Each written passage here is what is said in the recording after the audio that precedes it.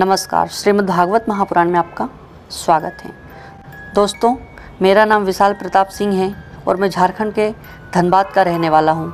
वैसे धनबाद अपने लड़ाई दंगों के लिए प्रसिद्ध है, लेकिन आज जो मैं आपको किस्सा बताने जा रहा हूँ, वो इससे ज़रा हटके है। तो दोस्तों, एक रात में अपने गाँव से मेरे मित्र अवदेश के साथ अंधेरी रात में खेत के रास्ते बस स्टैंड की तरफ़ जा रहा था। तो मेरे मित्र ने कहा, दोस्त थोड़ा जल्दी चलो, इस खेत से अगले दो खेतों तक थोड़ी समस्या है। तो मैंने पूछा, क्या बात है? तो उसने बार बार बात को टाल दिया। लेकिन मेरे ज़्यादा दबाव डालने पर उसने पूरा किस्सा सुनाया कि बहुत साल पहले अपने गाँव से रात को इन्हीं खेतों से एक आदमी गुजर रहा था। रास्ते में वो पेशाब करने के लिए एक पेड़ के नीचे रुक गया। उसके बाद वो जैसे थोड़ा चला, उसे किसी बच्चे के रोने की आवाज़ आई। तो उसने सोचा, रात को पहरा देने वाले का बच्चा होगा। लेकिन तभी याद आया कि ये खेत तो रामेश्वर काका का है जो तीन साल पहले यहाँ पर फांसी लगाकर मर गए थे।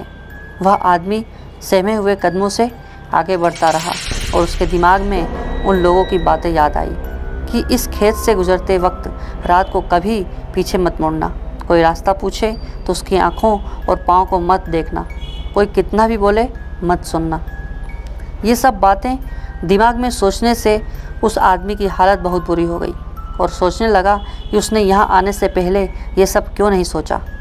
वो जैसे जैसे आगे बढ़ता वैसे वैसे बच्चे की आवाज़ और तेज़ होती जाती और ऐसा लग रहा था जैसे वो उसके साथ ही चल रहा हो।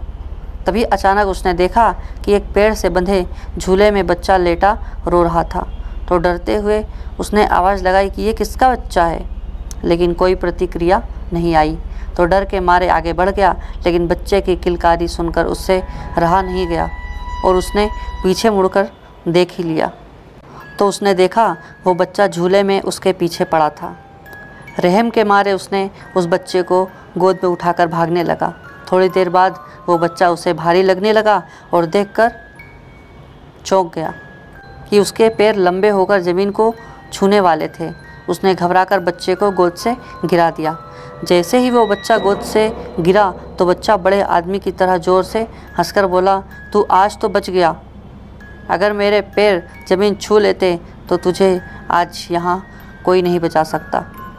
तेरी मौत तय थी। ये कहते ही वो बच्चा गायब हो गया। वो इंसान गिरते पड़ते घर तक पहुँचा और घर पहुँचते ही बेहोश हो गया। जब उसे होश आया तो उसने गाँव वालों को ये सारी कहानी बताई।